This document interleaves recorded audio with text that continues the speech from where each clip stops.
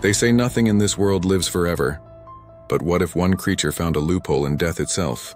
Deep beneath the waves, there exists a tiny, transparent jellyfish, no bigger than your fingernail. It doesn't look special at first glance, but this fragile life form may hold one of nature's greatest secrets about immortality. It's called Turritopsis dohrnii, but scientists simply call it the immortal jellyfish. When other creatures age, decay, and die, this one simply reverses time. Here's how it works. When it's injured, starving, or near death, instead of dying, it begins to transform. Its cells literally revert to their earliest form, turning back into a juvenile like a caterpillar becoming an egg again. Then it starts life all over. The same creature reborn over and over again.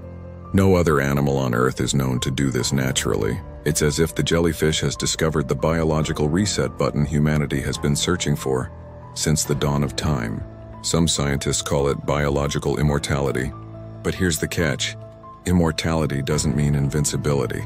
These jellyfish can still die, just not from aging. They can be eaten, crushed, or destroyed by disease. But if left undisturbed, it could, in theory, live forever. Imagine that. The same being, living through centuries, silently drifting through oceans that have risen, fallen, and changed beyond recognition. It might have seen more of our planet's history than any living creature should. And if nature could give one small creature the power to cheat death, what else might it be hiding from us?